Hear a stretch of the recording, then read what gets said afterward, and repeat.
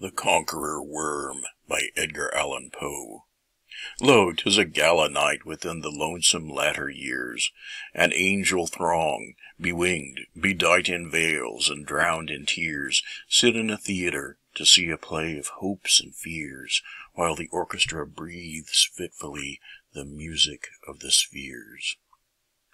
Mimes in the form of God on high mutter and mumble low, and hither and thither fly.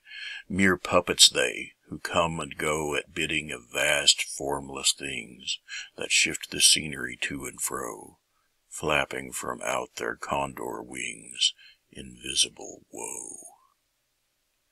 That motley drama, oh, be sure it shall not be forgot, with its phantom chased forevermore by a crowd that sees it not, through a circle that ever returneth in to the selfsame spot, and much of madness, and more of sin, and horror, the soul of the plot.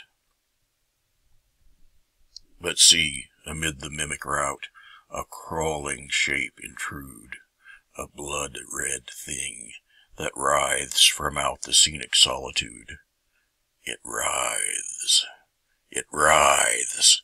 With mortal pangs the mimes become its food, and seraphs sob at vermin fangs, in human gore imbued. Out, out are the lights, out all, and over each quivering form, the curtain, a funeral pall, comes down with the rush of a storm, while the angels, all pallid and wan, uprising, unveiling, affirm that the play is the tragedy man, and its hero the conqueror worm.